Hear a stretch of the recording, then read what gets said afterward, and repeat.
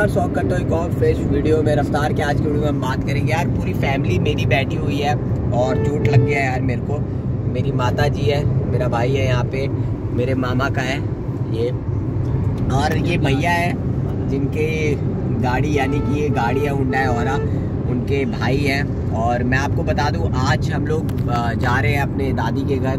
और नानी के घर से दादी के घर और अभी चला रहा है मेरे मामा का लड़का ये गाड़ी। थोड़ा बहुत उससे भी एक्सपीरियंस लेते हैं यार क्योंकि इसने इस गाड़ी को अच्छा खासा चलाया। लगभग ये गाड़ी तीस हज़ार किलोमीटर चल चुकी है तो कहीं ना कहीं इसका भी योगदान होगा। मैक्सिमम यहाँ पे दस हज़ार का। गलत कह रहा हूँ मैं? दस हज़ार तो चलाया ही होगा ये गाड़ी।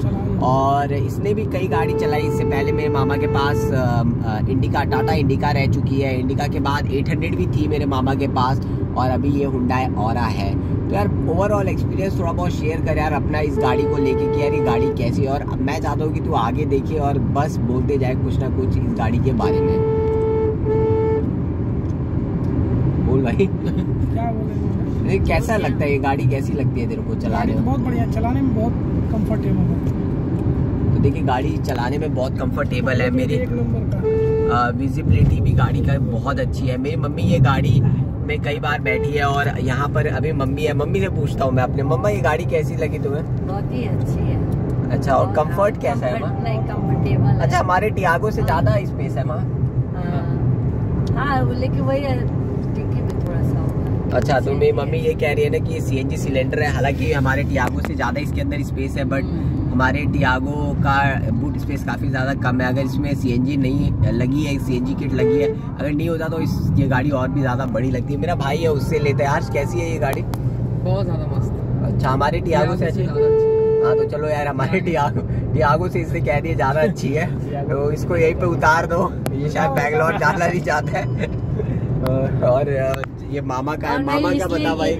ये गाड़ी तो सारी गाड़ियाँ बढ़िया लगती है। ये मामा का है इसके जीजा के पास टाटा पंच है। सब गाड़ियाँ बढ़िया है। इसके पापा सिर्फ़ टाटा की पंच को ही अच्छा कहते हैं और किसी गाड़ी को नहीं कहते हैं।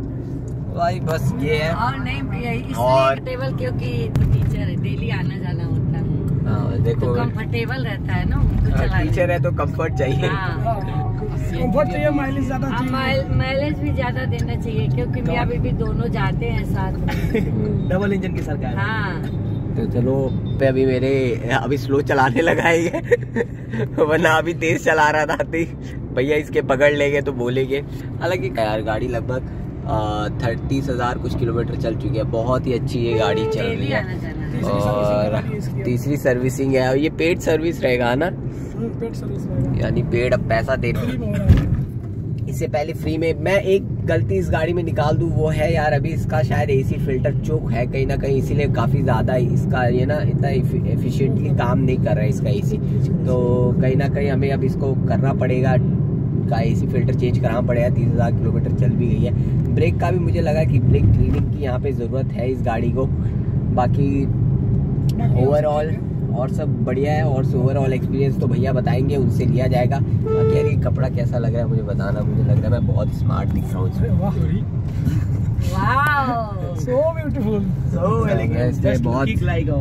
वैसे बहुत स्मार्ट दिख रहा हूँ और मुझसे जलने वाले जल जल के काले हो गए। यहाँ पे देख ही रहे हो। यहाँ पे मुझसे जलने वाले जल जल के काले हो गए मेरी मम्मी भी। कोई नहीं यार ये चोट लगा है यार ये बहुत ज़्यादा बेकार लग रहा है। तो खूबसूरती बढ़ा रही है तुम्हारी ऐसा लग रहा है बहन की शादी के बाद भाई की नाक कटी। चलो मेरा मज़ाक उड़ा रहे हैं क्योंकि यही हुआ ही है। तो बस ऐसा छोटा मोटा व्लॉग ले लो गाड़ी का लेके गाड़ी देख सकते हो ट्वेंटी नाइन फोर 2022 में खरीदी गई है। लगभग दो साल है, आज इसका इंश्योरेंस भी खत्म हो जाएगा। ये सी एन जी यहाँ पर आप देख सकते हो स्टीकर लगा है उसमें स्टीकर लगा रहता है। बाकी वीडियो अच्छी लगी तो वीडियो को लाइक चाहिए सब्सक्राइब जो